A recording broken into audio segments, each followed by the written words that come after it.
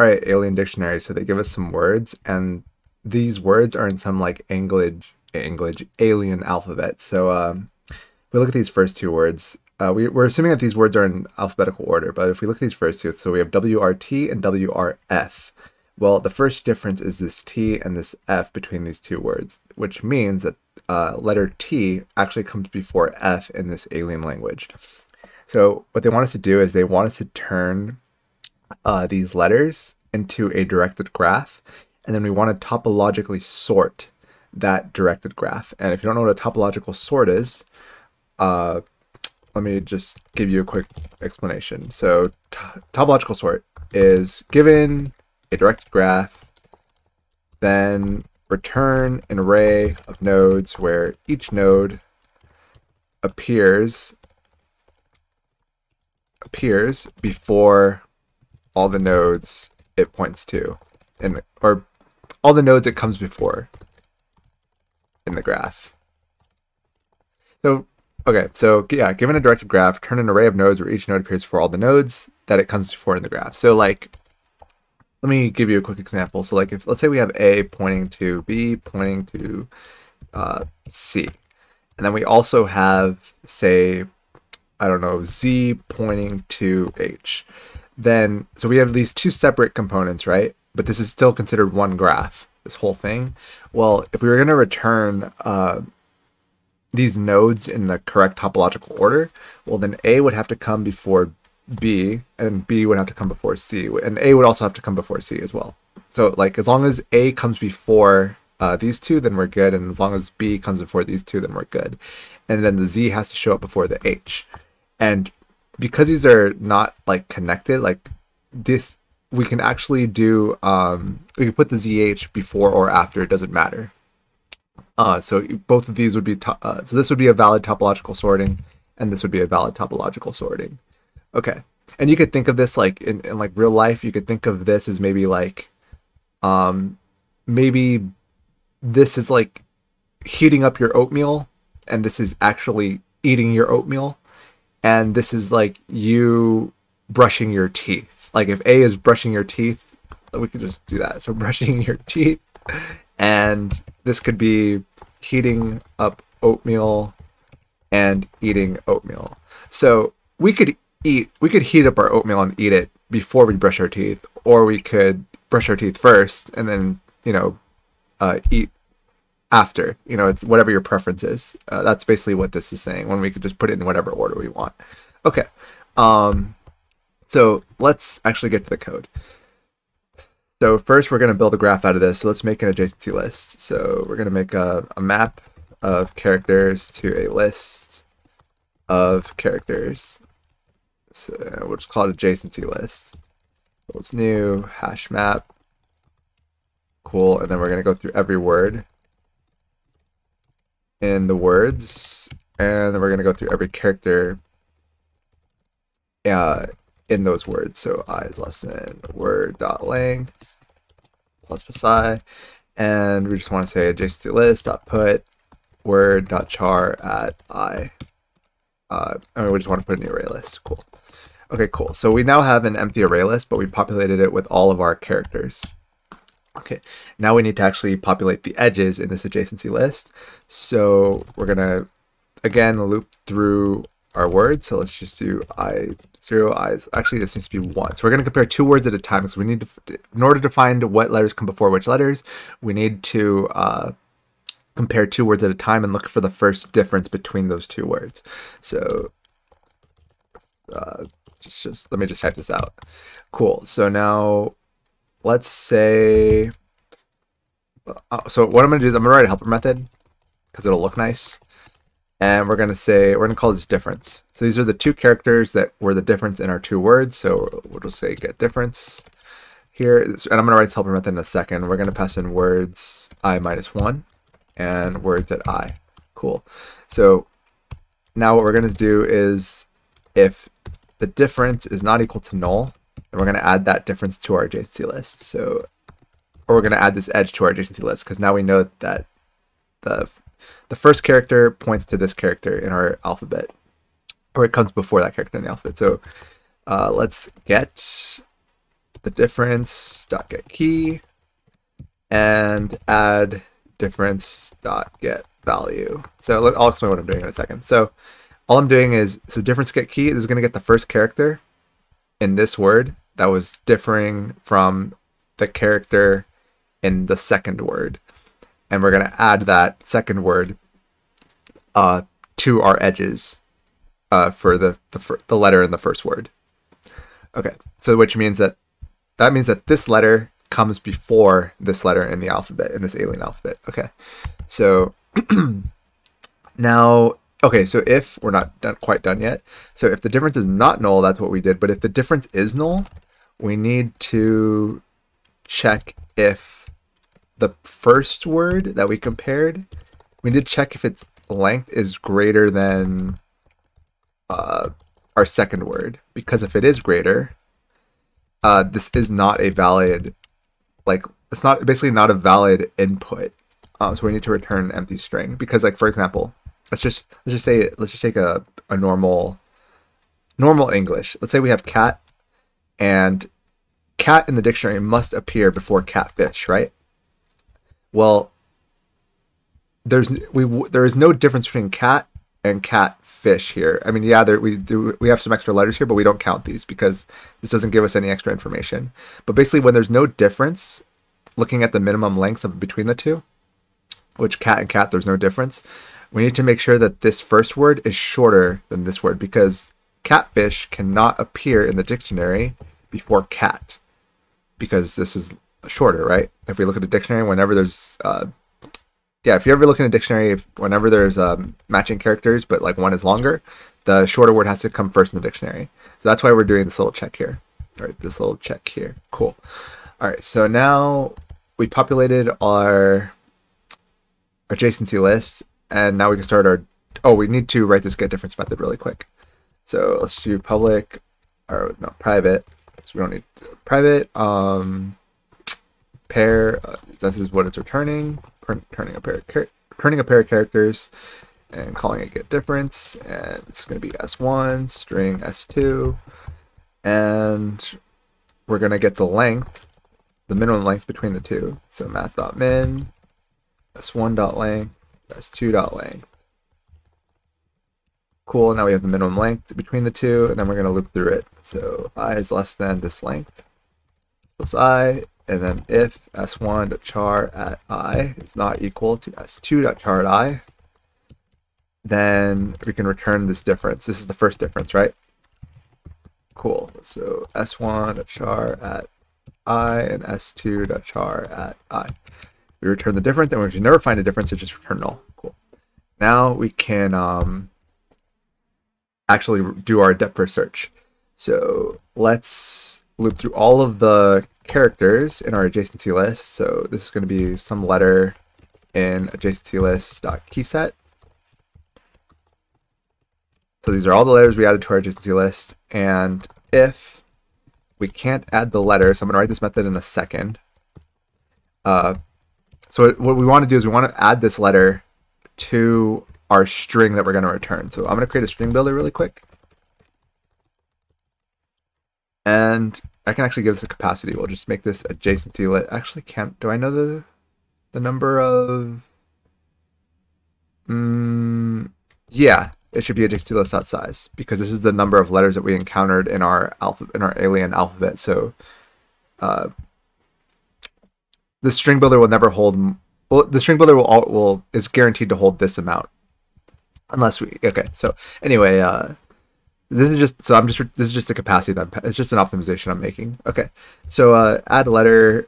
We want to add the letter to our string builder, but if we weren't able to add the letter to our string builder, then that means that we encountered a cycle in our in our directed graph. If we encountered a cycle in our directed graph, we don't have a valid. There's it's not it's not possible to return a valid topological sorting. So we're going to return the empty string uh, because if we have a cycle in a directed graph, that means that two letters are pointing to each other, either directly or indirectly via some nodes. There's some cycle between them, so we'll never be able to return.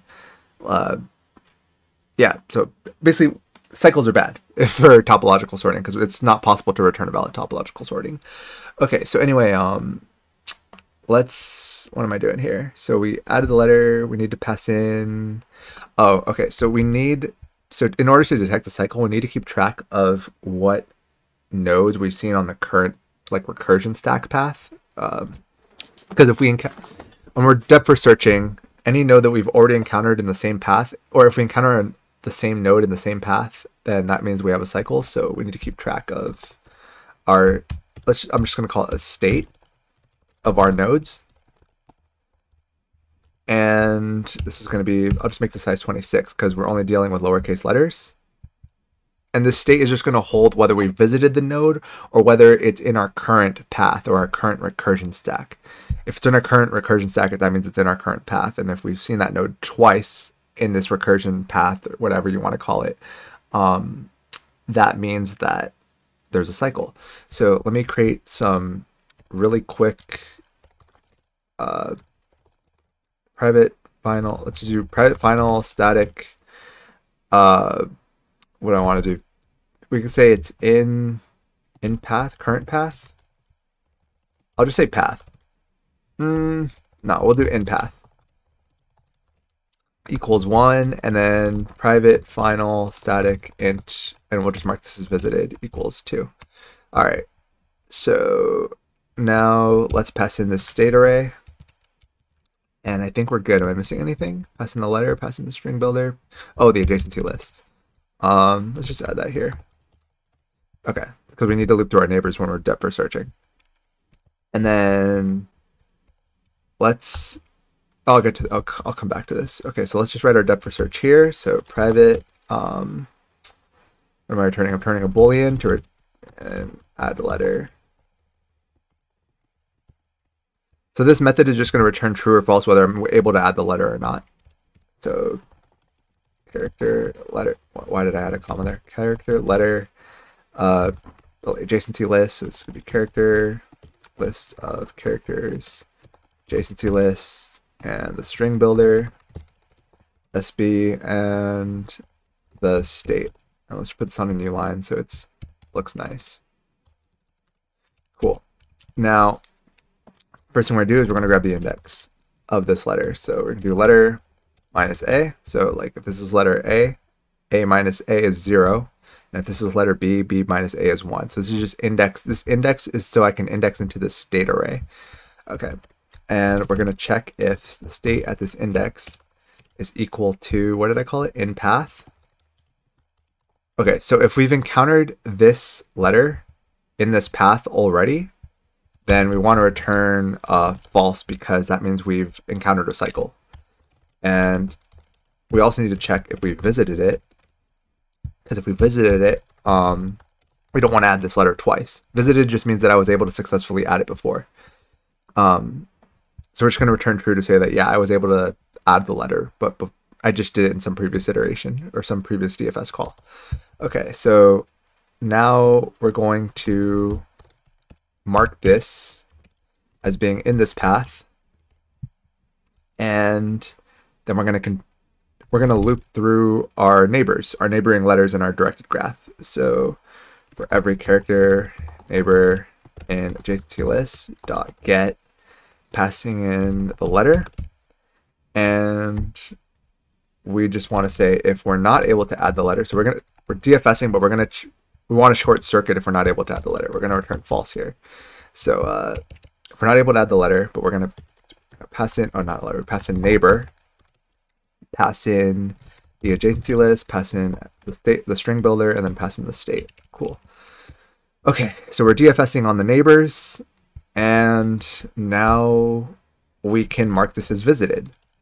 We can mark this letter as visited because we were able to successfully add it, which we're about to do. We'll append the uh, letter. Cool. And we just return true. All right. So uh, notice that I'm adding these letters at the bottom of the recursion stack because let's just say that I have. Um, so let's just say this is my entire graph. I have A, I have B, and I have C. But when I'm starting my recursion, my DFS, where is it? Right here. So this is where I start my recursion, right? In this add a letter call here, I'm going through my key set. And my key set's not like, it doesn't know what order I would ideally like to have my, um, my letters in. It's just going to give me the keys in, in essentially a random order. So let's just say that hypothetically, if we DFS from letter B at the very beginning, if we called add a letter on letter B, so let's just say this was our very first recursive call. If we just said add a letter B, and that's what we did, right?